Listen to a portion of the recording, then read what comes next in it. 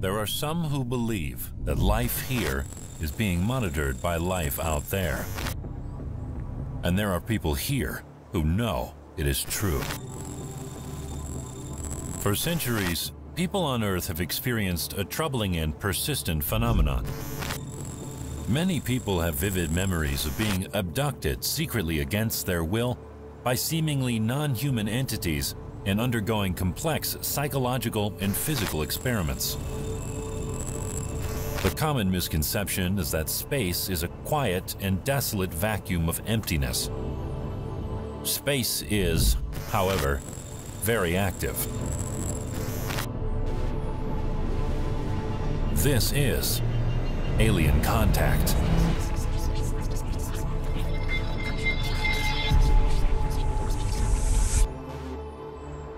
York, England. York is a city with a dark past. Its history is rife with tales of guts, gore, torture, and the paranormal. Phil Shepardson, research chemist who has recently built his own motorcycle, was ready to put it to the test on the winding roads of the Yorkshire countryside. Little did he know this would be a joyride he'd never forget. Because I still don't want to believe what my eyes saw that day. I just, I, I, it's got to be a, a perfectly normal explanation for this, and I haven't found one yet. My reality is shopping at Tesco's. It's not suddenly being confronted with something out of this world. What was this? You're going out for a ride on your new scooter, you, know, uh, you're happy that it's not raining, there's no traffic, and then you, suddenly your whole life turns upside down. An unexplainable experience like this has had a surprisingly positive effect on Phil as he has become more aware of the things around him. Phil often recollects his experience, which ultimately led him to build a telescope which can be found in a museum. Journeying back to the location, Phil experienced the unexplained. It's like time skipped and he's back in 1979. Things didn't equate, but now I'm, I know that the, the whole world stopped with me, basically. This experience was far beyond the reality that anyone knows. It's a blank, and the whole thing's a blank. I, I, I, for a lot of years, I knew it existed, but I didn't want to, and even now, I don't want to know it existed.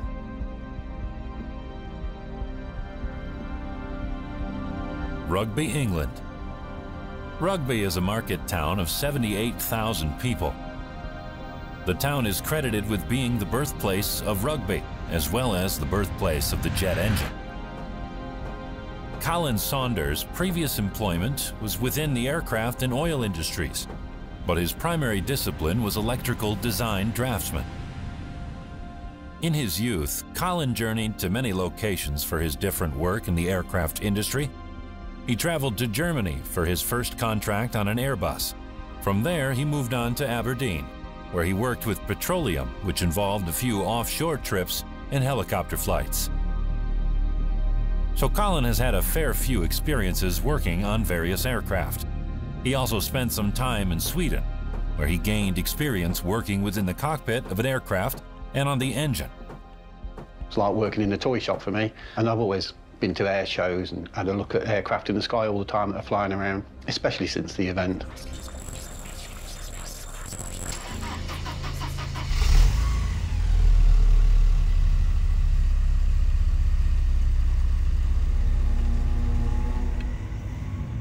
Colin journeys back to the exact location, which would change his view of aircraft forever. Back to where it all began on March 31st, 1999. The Saunders family had gathered for an innocent meal at the White Lion. On their way home through the country lanes, they came to the Fosse Way. We came round the bend and there were these lights hovering by the side of the road. They were red and a bit of white mingled in. That's half a mile from where we turned the corner to where the lights were, because I've been back and measured the distance. And we drove towards the lights, talking excitedly about what they could be. Most sightings that come our way are of strange lights. They're usually aircraft, or now we have drones, or at certain times of the year, for example, it's the bright stars or planets. And they're miles away. You know, you'll see videos on YouTube or anywhere else, and, oh, I filmed this today, and it's just a little light. Could be anything. Glen Ceiriog, Wales. North Wales boasts some wonderfully beautiful locations, yet the Ceiriog Valley, with its relaxing river and gorgeous surroundings, makes for an ideal break. Well, as some may think. During a short trip away from the busy cities, Sacha Christie and Stephen Midgley traveled to Glen Ceiriog, North Wales, for some time in the countryside. Little did they know they'd come face to face with the unknown. On one clear night, the group enjoyed the sights of the stars that filled the sky above them until everything changed. A triangular craft was spotted across the valley in the sky. Fear began to creep in. As the craft slowly traveled over to them, things started going wrong.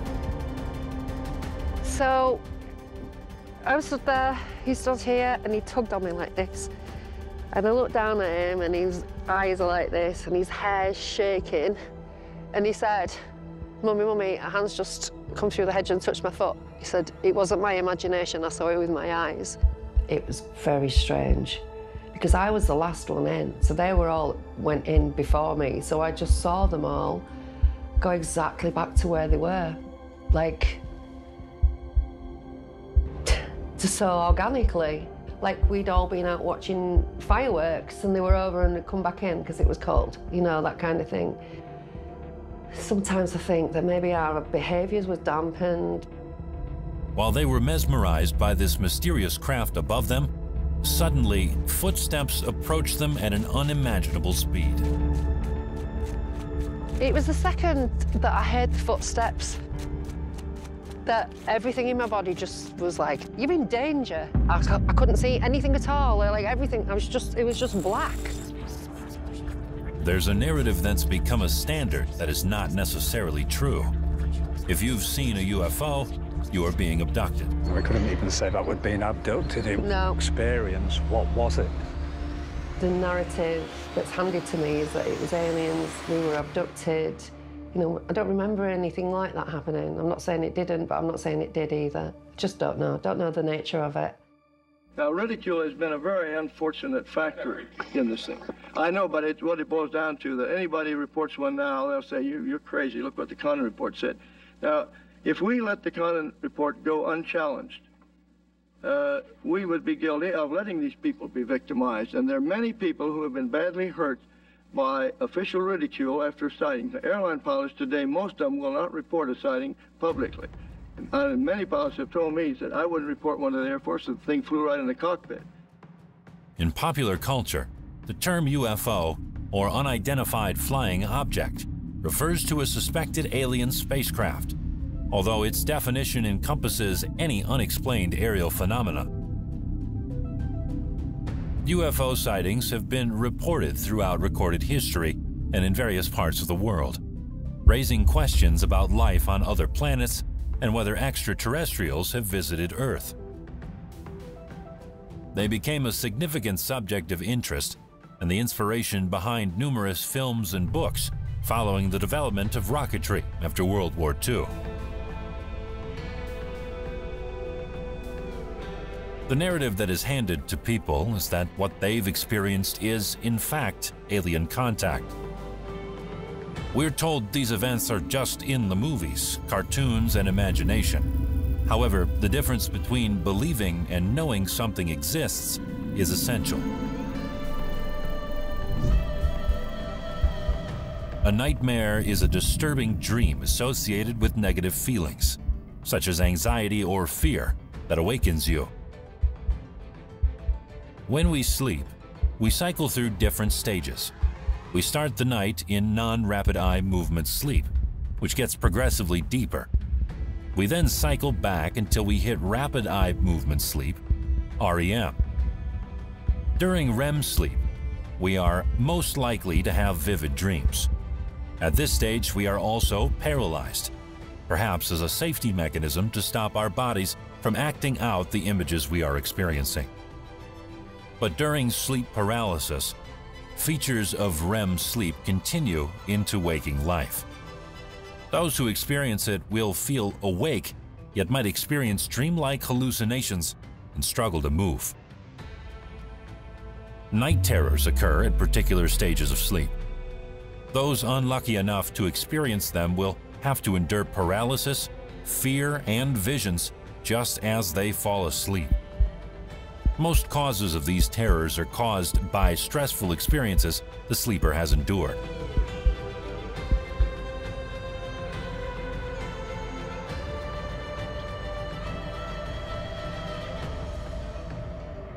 The first nightmare that really took hold was I was asleep, uh, having nightmares, and then suddenly I was in dentist type chair, a bit like this basically, but more hooded, and there was someone bearing down on me with a, a mask and a red glow from somewhere, and they was operating on the throat, and that freaked me out to such an extent, and hell, I'm, I'm, I'm, uh, I'm in the out, of, out of this world, basically.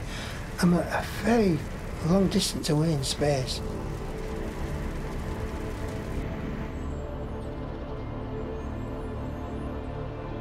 On Phil's joyride, he didn't like the busy roads or motorways.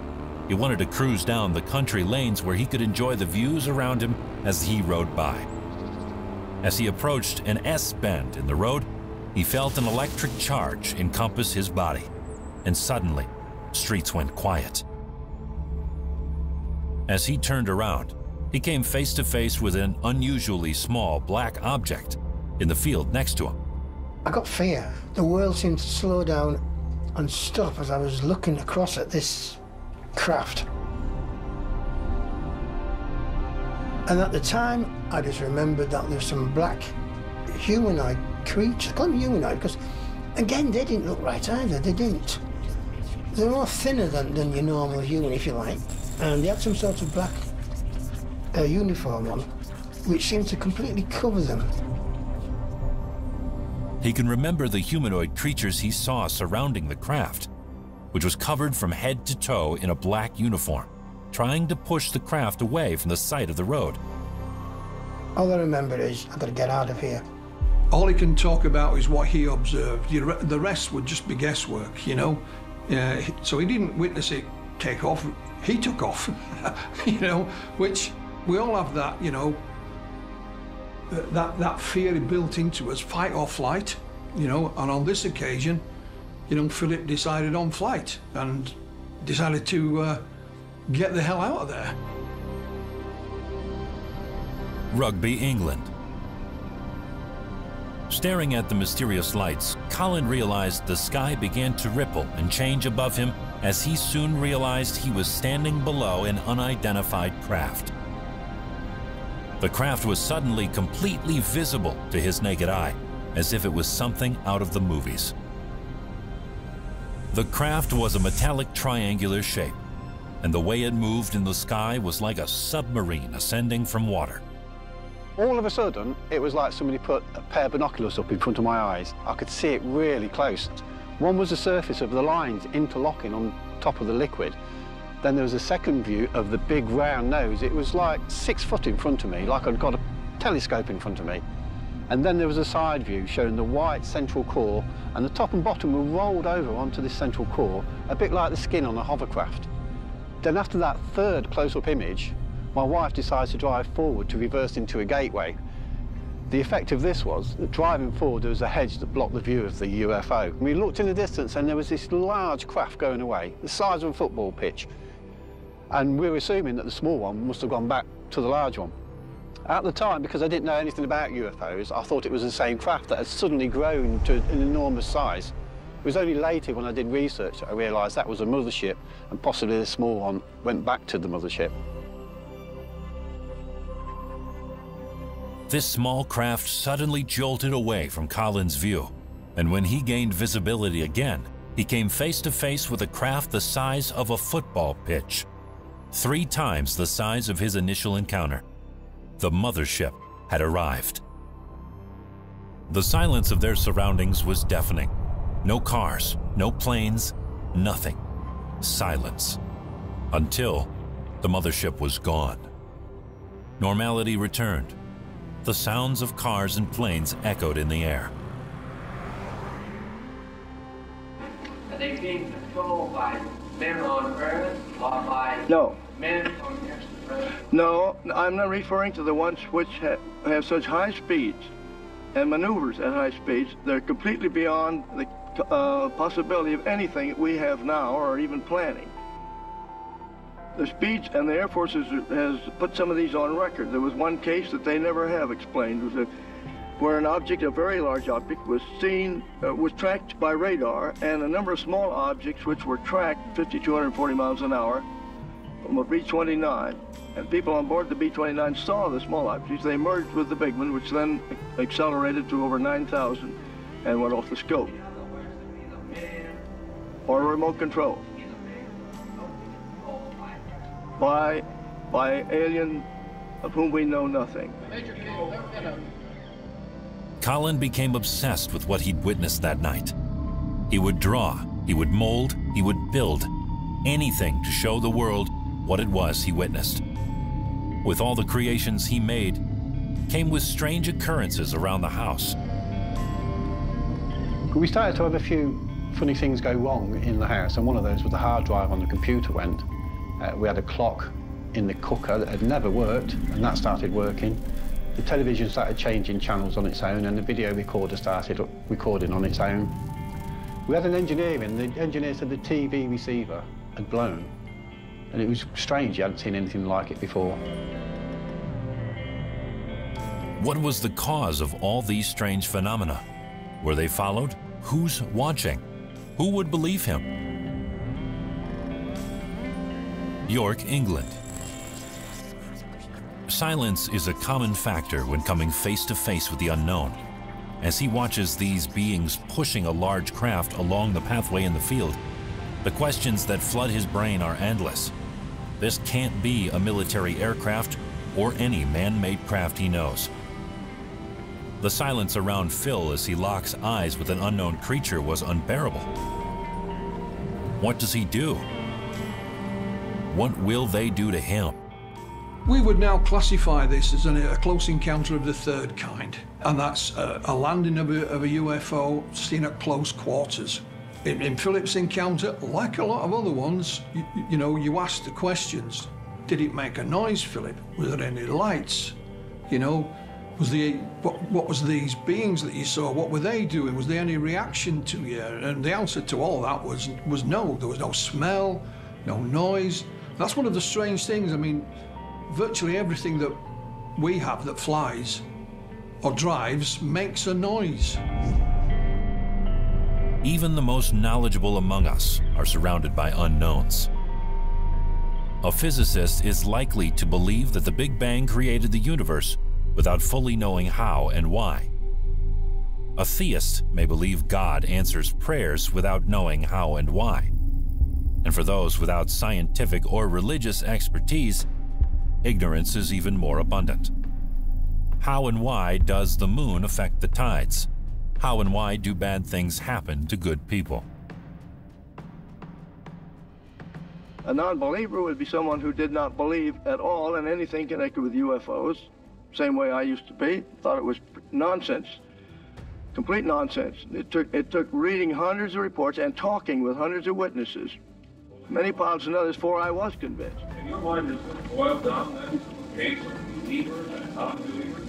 No, it doesn't. What it should boil down to is this, an open investigations, independent of any government agency. Maybe the government would have to provide some, some, but there should be some way of making it open so there would be no chance for charges of uh, being biased to find out what is back of this. Now, let's say that, all right, you don't have to prove the extraterrestrial answer, but here are reports that prove there have been devices under intelligent control, seen, tracked by radar, sometimes simultaneously tracked by two radar stations to get a fix on it. Now, one is often enough, but when you get two that, that, uh, that confirm identically what is seen visually, that's a pretty tight case. We investigate the role of ignorance across science and religion, focusing on ignorance regarding the answers to questions about how or why something is the case.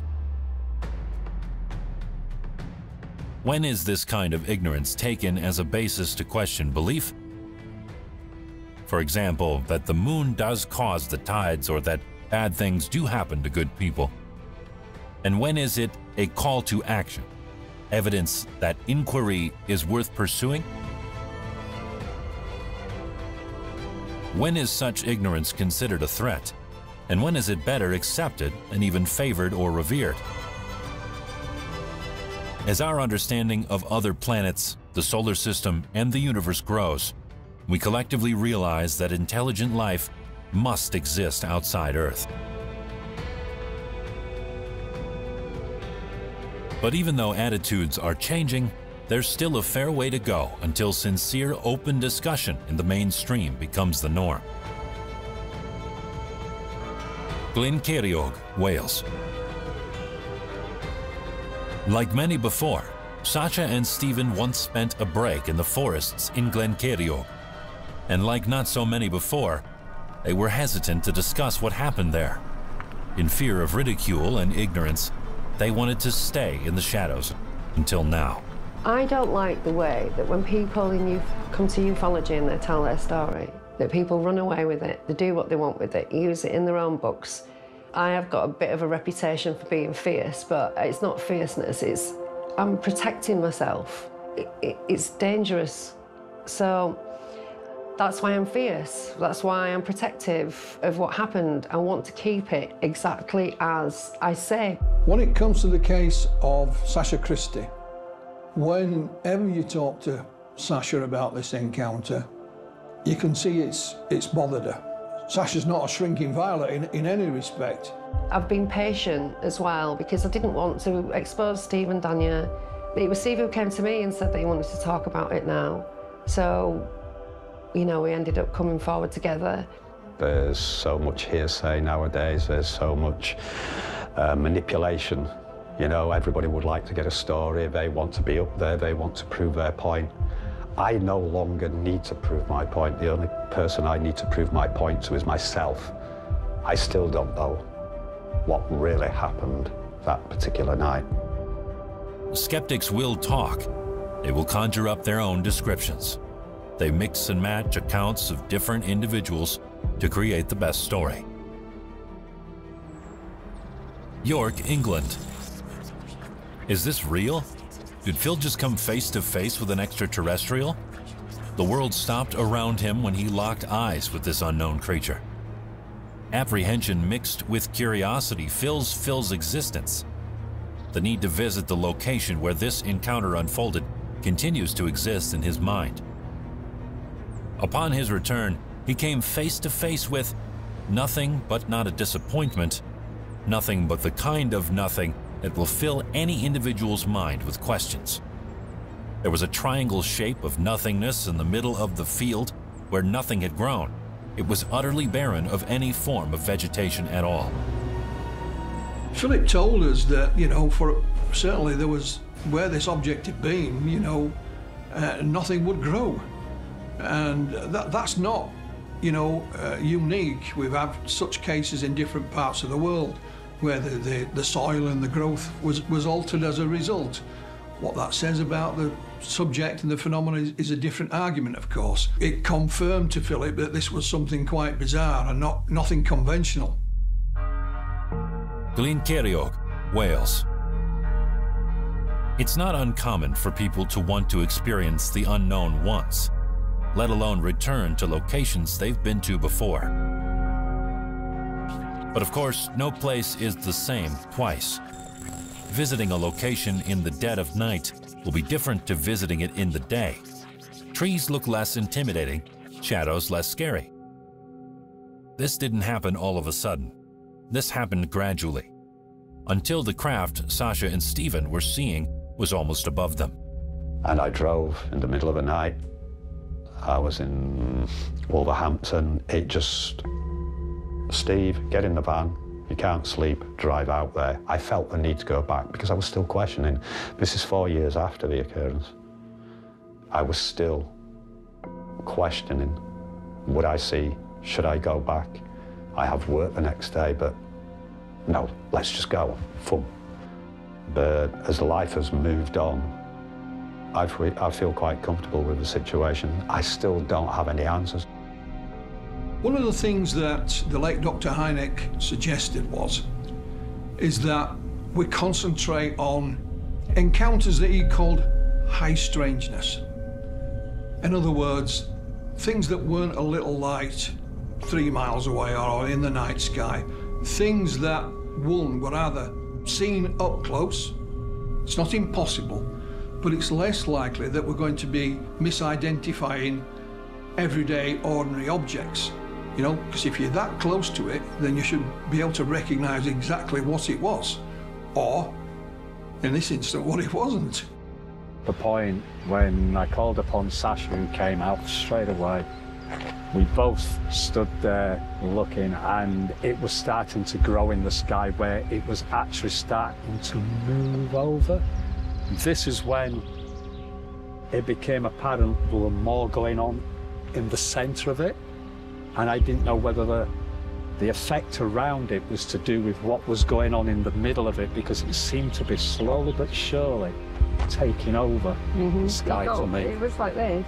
It was just moving through the different densities of the clouds. Uh-huh. So it kind of rippled, but it wasn't like tentacles. It wasn't like a living creature. It was Like a light. jellyfish effect. It just looked kind of like a jellyfish within the clouds. It seemed to be circulating in a, a clockwise but swirling anti-clockwise. As it started to move over, it would be going round, but in anti-clockwise.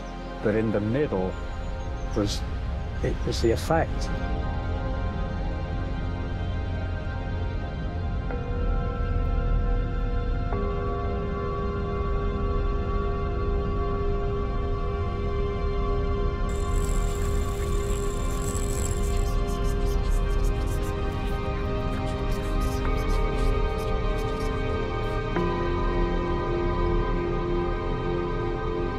Was in that saw us because it wasn't even coming in our direction.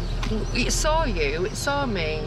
Um, I don't know how, whatever technology was in it. It's like- Because we were we were miles and miles away from it, but it vectored in on us and it came to our position Where attention directly. goes, energy flows. I'm a great believer in that. It's before I actually kind of really looked into that side of things. But I've never seen any kind of life form with a UFO. I cannot say that they go together because I don't know that they do. I mean, that is a total assumption. There's a house opposite, like right further off on the opposite side of the valley, on another hill. And when we were walking around yesterday, and I said to Steve, imagine if you were looking out of the window from that property there, what you would have seen, you know. I mean, it they would have seen what we saw. But it's a tiny village, and it's not very active, is it? So now we want to move on to flying triangles. They've been seen all around the world since at least 1974, without a doubt. Uh, we've got November 29th, 1989, Belgium was seen. January 5th, 2000, Southern Illinois. Area 51, Groom Lake. They've been seen almost in every country by every possible culture. So it's a worldwide phenomenon. March 31st, 1999, Kirby, a very significant sighting. And if anyone in this room is a skeptic, I just invite you to look at this gentleman's testimony. Colin Saunders, you can Google him. He gave a really nice 20 minute lecture regarding this particular sighting. A very honest gentleman. I, I totally believe his case. This thing was uh, approximately 50 feet across in conjunction with a Cessna 172 that has a 27 foot wingspan. Here's Colin Sanders here. Here's his UFO model. And when I saw that UFO model, I said, wow, I want to have one of those. This is only a recent build that we had done. We did these a few years ago, but it's taken a while to get to the proper model that I wanted. So overall, we're looking at a period of about 20 years. Just recently, I've seen this exact model on a program by Stephen Greer. I know that he has got that model from Michael Schratt, who I sent these drawings to. Now he is telling people this is a man-made craft and that this is the propulsion system at the back. Feel like I'm on a bit of a mission. That's why I started building the models. I just got obsessed with it.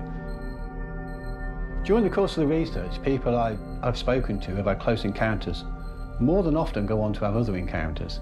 Not necessarily UFO, but paranormal encounters. We all would like to find a logical explanation, and there may well be one. You know, the magnetic pull of the land, there's mines, if it's copper, if it's slate. None, none of it explains what it was, though. But then you think, well, hang on a minute, what happens with the strobe lights and the effects of the people?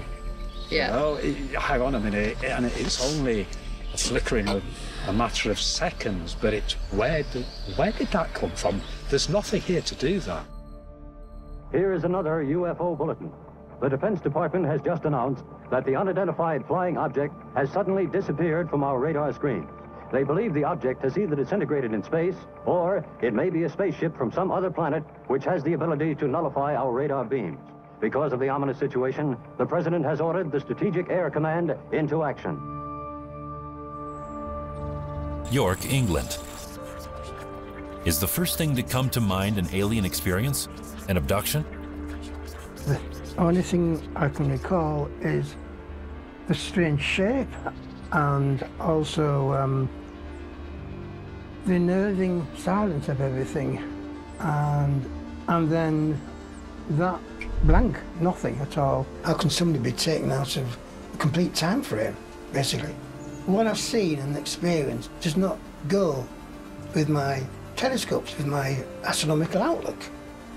And, and the two don't mix. We know as UFO researchers that most people don't actually report their sightings anyway. So there could well be witnesses, we just never found them. Now, next on Outside Source, we're going to learn how a global team of astronomers have announced they found what could be evidence of life elsewhere, and not on Mars, but on the much more inhospitable Venus. Here's one of the team. So, what we think we found is phosphine gas in the atmosphere of Venus. Now, on a rocky planet like the Earth, phosphine is a rare gas, and it's mainly the result of life. Um, so, it's what we call a biosignature. Now, on the Earth, uh, phosphine is caused by human activity, so through industry or through microorganisms or microbes. And so, finding a gas like this on Venus is really exciting because of the possibility that it could have also been produced by life like it is on the Earth. If we as a species can evaluate ourselves scientifically that there is life somewhere else, that would open up the floodgates hopefully a confined floodgate uh, towards that we are not alone and we do exist amongst an extraterrestrial species. And I might not be ridiculed anymore. The interdimensional hypothesis is a proposal that unidentified UFO sightings are the result of experiencing other dimensions that coexist separately alongside our own, in contrast with either the extraterrestrial hypothesis that suggests UFO sightings are caused by visitations from outside the Earth, or the psychosocial hypothesis that argues UFO sightings are best explained as a psychological or social phenomenon. The hypothesis has been advanced by UFO enthusiasts such as Meade Layne, John Keel, J. Allen Hynek, and Jacques Vallée. Proponents of the interdimensional hypothesis argue that UFOs are a modern manifestation of a phenomenon that has occurred throughout recorded human history, which in prior ages were ascribed to mythological or supernatural creatures. The world as we know it has three dimensions of space length, width, and depth, and one dimension of time. But there's the mind bending possibility that many more dimensions exist out there. Rugby, England. The hardest part is letting go. Letting go of what it might be. Letting go of the unknown. But it keeps coming back. I, I just think it's such a fantastic experience that to let it go would be such a waste. It'd be uh, such a disappointment to those who have made it happen to me. What actually happened, I'm pretty convinced it was a, an alien craft. as we like to call them, from another world. I, I think it's like a parallel world that it's come from. And it's been done, I believe it's been done for a reason. These creatures are so advanced and they know us so well. And the fact that they hide themselves, but this particular night, it wasn't hiding. It was totally different. It was like a Christmas tree at the side of the road waiting for us. So why did they do that? That is just not normal for a UFO to be doing that sort of thing. It's been done for a reason. I hope one day I realise what the reason is, unless this is the reason now that I'm helping, just subtle dis disclosure of the alien agenda. The most probable answer was observation by extraterrestrial uh, beings uh, or controlled machines making observations of the Earth. Now this this is exactly what the Air Force said in 1948. They've had a top secret estimate of the situation which said that these things were interplanetary devices. And they, they've denied it for years, but they finally, it was admitted. Ask most anyone whether life exists on other planets and moons, and you'll get a confident yes. Going back decades, and in many ways generations, we've been introduced to a menagerie of extraterrestrials, good and bad. Their presence suffuses our entertainment and culture, and we humans seem to have an almost innate belief, or is it a hope, that we are not alone in the universe. But that extraterrestrial presence on regular display is, of course, a fiction. No life beyond Earth has ever been found. There is no evidence that alien life has ever visited our planet. It's all a story. This does not mean, however, that the universe is lifeless.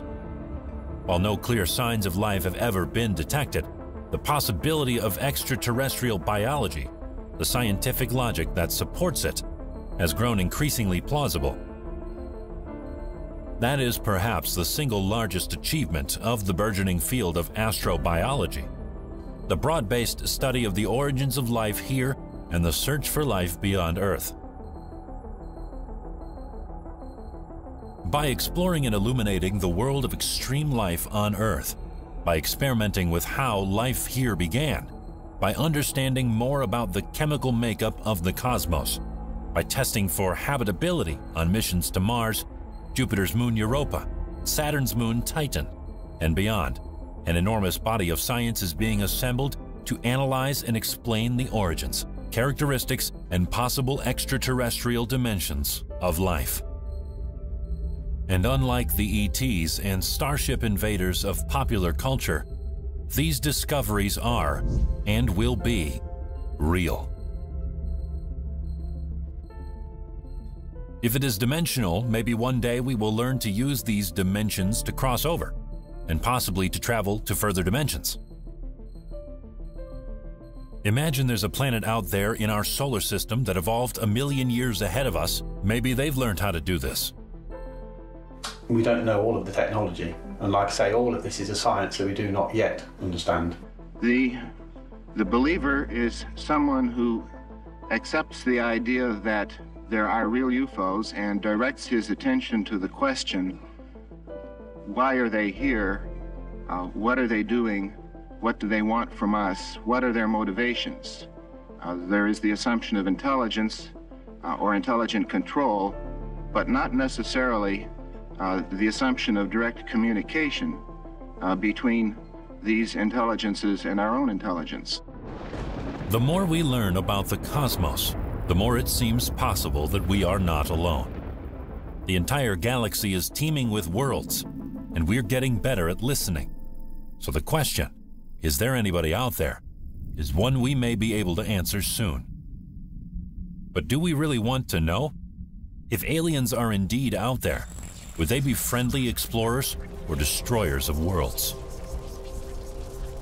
This is a serious question no longer confined to science fiction because a growing group of astronomers have taken it upon themselves to do more than listen.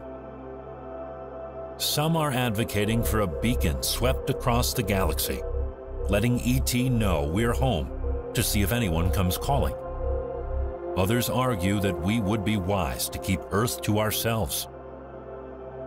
I feel that uh, over a period of time, a couple of years now, that I have been in a position to look at some of the evidence, and certainly I have not seen all of the evidence that might be pertinent. Uh, I too have been driven in the direction of uh, recognizing that there are cases that are not explainable in conventional terms. Uh, this at least leaves us with the existence of a real UFO. Uh, beyond that, there is the question of whether some of these real UFOs may be under intelligent control.